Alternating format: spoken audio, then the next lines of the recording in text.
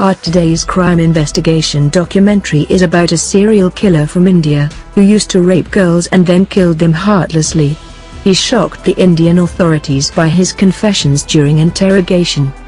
The serial lady killer confessed that he was involved in rape and killing since last 15 years. He was targeting girls around Goa. The 40-year-old serial killer Mahanand Naik was arrested a prime suspect in a rape case. The victim was of the best friends of his wife.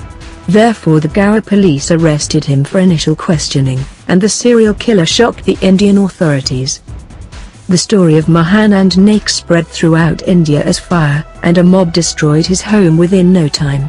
With increase of time of custody Mahanand Naik increased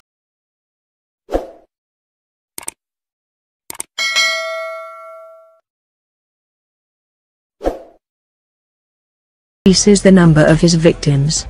After the initial confession of five murders, he confessed to kill seven girls. After another week of questioning, the authorities found themselves faced with a serial killer, who admitted to snuffing out the lives of 16 young local women.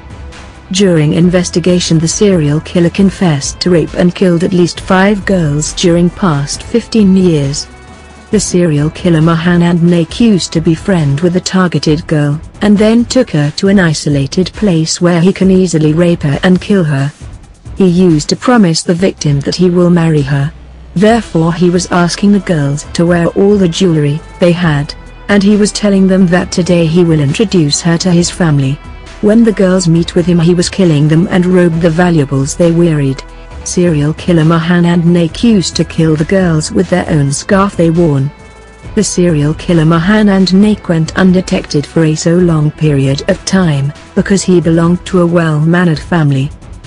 The list of serial killer Mahanand Naik include Darshana Naik, raped and killed in 1994, Vasanti Gawad raped and killed in 1995, Kazai Naik raped and killed in 2007, Yojita Naik raped and killed in 2009, and the remaining victims did not identified as their bodies had been thrown in a river after robbing the gold.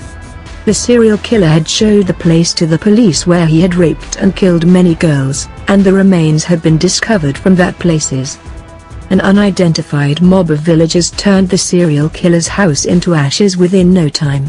No one in the sleepy village want to talk about Mahanand Naik and their family. This was one of the biggest failures of Goa police. If Mahanand Naik, the Goa serial killer was arrested earlier, many lives of many victims can be saved. It did not happen because the rickshaw union launched protest against the police when the serial killer was arrested back in 1995.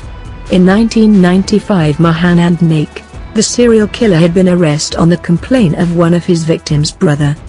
The complainant told the police that the victim, Vasanti Gawad was seen with the serial killer last time, after which she had not spotted anywhere.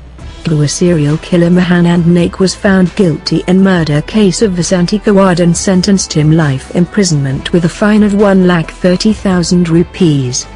The court convicted Naik for abduction, robbery, murder and destroying evidence.